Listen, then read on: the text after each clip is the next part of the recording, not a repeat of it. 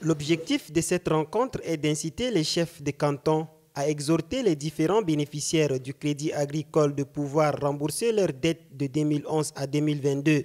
Cinq chefs de canton ont répondu présents à la rencontre. Le chef des services Crédit Agricole et suivi de recouvrement de l'ONAP, M.